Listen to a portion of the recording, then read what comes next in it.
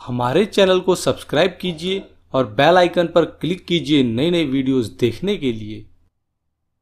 नमस्कार दोस्तों, जरा हट हिंदी के ज्योतिष वास्तु, भारत और संसार की रहस्यमय दुनिया में आप सभी का स्वागत है। दोस्तों 16 दिसंबर से शुरू हो रहा है खर मास। तिथि अनुसार आप इन चीज़ों का दान ज़रूर करें। खर मास 16 दिसंबर से शुरू हो जाएगा और यह 14 जनवरी 2018 तक रहेगा। खर या मल मास में कोई भी शुभ कार्य नहीं किए जाते। इस मास में दान पुण्य करने से विशेष फल की प्राप्ति होती है।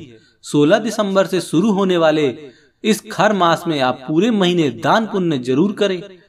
किस तिथि को कौन सी चीज़ दान करना शुभ रहेगा, आइए इसके बारे में हम जान लेते हैं। दोस्तों, प्रथमा प्रथमा के दिन घी से भरा चांदी का पात्र आप दान करें।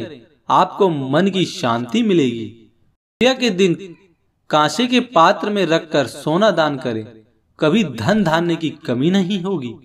तृतीया तृतीया के दिन चना दान करने से सुख की प्राप्ति होती है। चतुर्थी वाले दिन चतुर्थी को खारक का दान करने से लाभ होता है। पंचमी पंचमी को गुड़ का दान करने से मान सम्मान में वृद्धि होती है। षष्ठी षष्ठी को औषधि का दान देने से विकार दूर होते हैं। सप्तमी सप्तमी को लाल चंदन के दान से बल और बुद्धि बढ़ती है। अष्टमी अष्टमी को रक्त चंदन दान करने से पराक्रम बढ़ता है। नवमी के दिन केसर का दान करें, भाग्योदय होगा। दशमी के दिन कस्तूरी का दान करें, मनोकामनाओं की आपकी पूर्ति होगी। एकादशी को गोरोचन के दान से बुद्धि बढ़ती है। द्वादशी को शंख का दान करने से धन में वृद्धि होती है और त्रयोदशी को घंटी का दान करने से पारिवारिक सुख प्राप्त होता है। चतुर्दशी के दिन मोती दान करने से मनोविकार दूर होते हैं।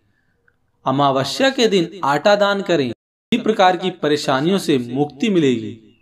पूर्णिमा पूर्णिमा को रत्न दान करने से अपार धन की प्राप्ति होती है।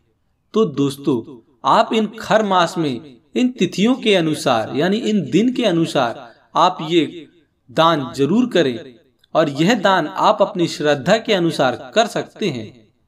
तो दोस्तों, हमें उम्मीद है कि आज की वीडियो आपको काफ़ी पसंद आई होगी। यदि आज की वीडियो आपको पसंद आए तो आप इसको अधिक से अधिक लाइक और शेयर करना ना भूलें।